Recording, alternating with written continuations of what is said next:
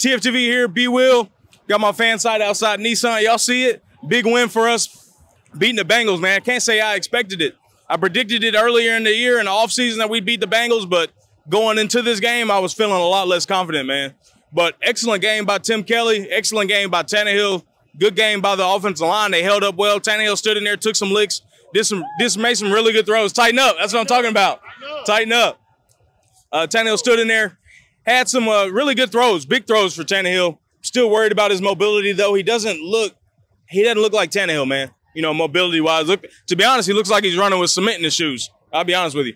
But uh, you know, we don't really need to. We're not relying on Tannehill to be mobile like that to run all that. We just need him to stand in the pocket and be accurate, make accurate throws, and be on time with his reads. That's one thing that I was with. I was been harping on Tannehill's.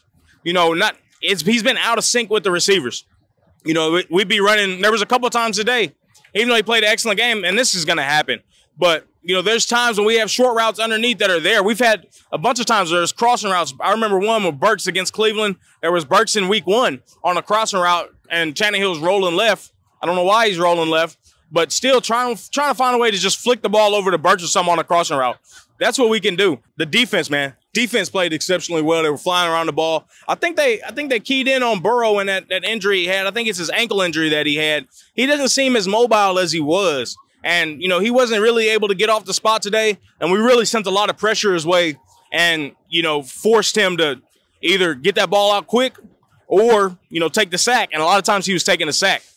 Even to stop him from getting all the ball out quick, this is something I really liked what the Titans did. They were playing a lot of, they were pressing in the initially, playing like some off press, off press coverage a little bit it just gives Burrow to where he doesn't have a free release anywhere across the field and doesn't allow him to just dunk the ball off like like he normally would.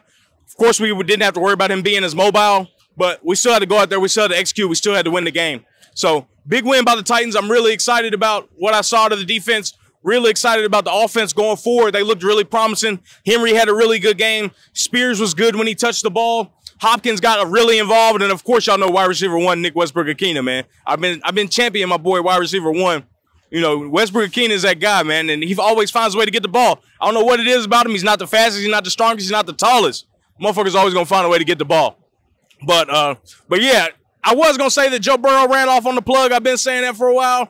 I talked to a good Bengals fan here. He was saying, you know, he reminded me that Joe Burrow's been hurt. So with that being said, I can't say Joe Burrow ran off on the plug. He's just playing hurt. Really, with the Bengals, why didn't they just sit him for injury reserve for the first four weeks? They're already one in three now. What's the difference between being one in three with Joe Burrow or 0 4 without Joe Burrow, having coming back healthy, firing all, all cylinders in week five? Y'all let me know about that. What y'all think about the Bengals' decision to do that, man? It looks pretty looks pretty silly looking back on it, but of course hindsight's 2020. But yeah, this of course is TFTV. B Will signing out. Appreciate y'all, man.